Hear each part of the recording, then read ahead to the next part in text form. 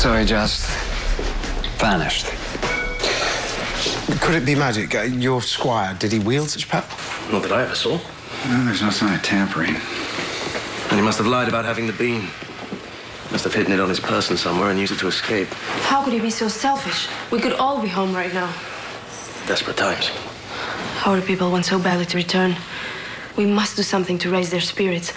The despair of being away. That's what caused all this. Who knows what else it can lead to? Well, you're right. People need hope.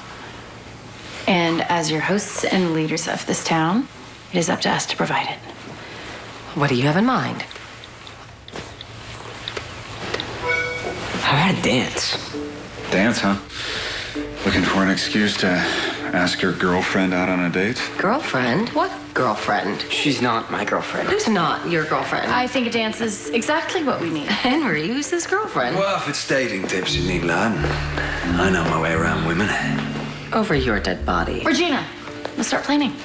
I think it is time Storybrooke had a ball.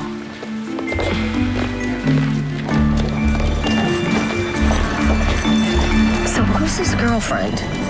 What do you know about her? Belle, what is it? It's, uh, it's Rumpel. What happened? He's missing.